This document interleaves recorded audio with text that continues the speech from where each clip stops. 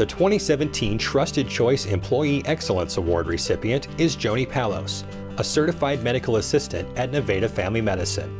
Joni was chosen from 10 nominees and was nominated by Dr. Timothy Lowry and Department Manager Stephanie Straith.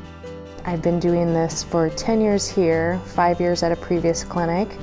Being Dr. Lowry's nurse for uh, that long a time has made personal relationships with her patients. They look forward to seeing her. She really does her best to treat each patient like a family member. Oh my gosh, I love my patients. Dr. Lowry has a majority of our older patients. I try to treat them how I would want to be treated if I was the patient.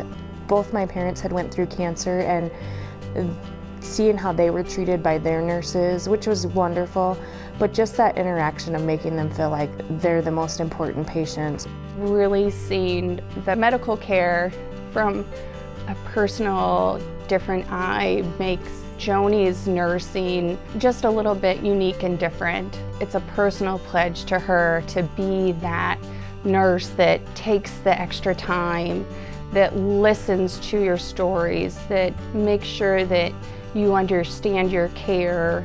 I think uh, working with Joni is really much of a collaboration.